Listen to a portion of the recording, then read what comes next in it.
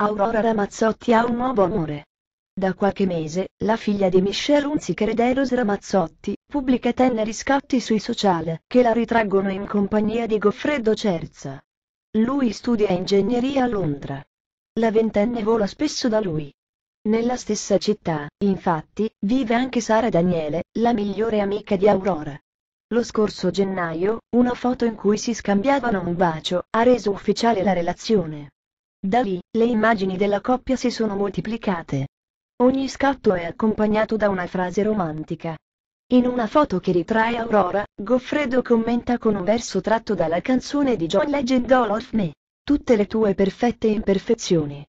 In un'altra foto di coppia, Lara Mazzotti dice, cosa mi hai fatto? E poi, c'è quel tenero abbraccio, pubblicato solo qualche giorno fa, accompagnato dalla didascalia.